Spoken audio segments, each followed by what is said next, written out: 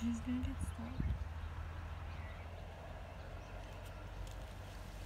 stuck. Should move the copper one closer?